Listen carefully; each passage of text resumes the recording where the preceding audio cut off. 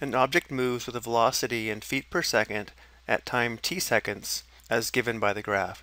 How far did the object travel from t equals 0 to t equals 60 seconds?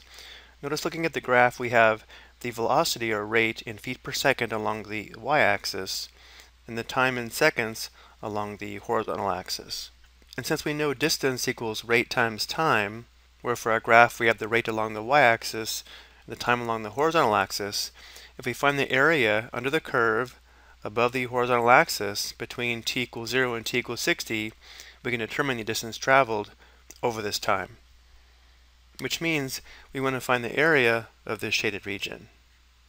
And because the shape is a trapezoid, we can use the area formula, area equals 1 half times the quantity b sub 1 plus b sub 2 times h to determine this area and therefore the distance traveled. Where b sub 1 and b sub 2 are the two bases, or the length of the two parallel sides, and h would be the height. Notice how these two sides are the parallel sides. So if we call this b sub 1, notice how this is scaled by 4s. So b sub 1 is equal to 6. b sub 2 would be equal to 24. Then the height would be this length here along the horizontal axis, which would be 60. So the area of the shaded region would be A equals 1 half times the quantity B sub 1 plus B sub 2, which would be 6 plus 24,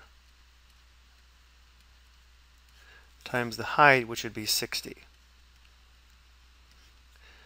So we'd have 1 half times 30 times 60 well, 1 half times 30 would be 15, so we have 15 times 60, which is equal to 900, which means the distance traveled, which means the distance traveled would be 900 feet. We know the units would be feet because if we multiply the rate or velocity in feet per second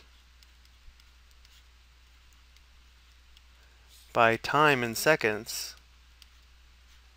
notice how the units of seconds would simplify out, leaving us with feet. I hope you found this helpful.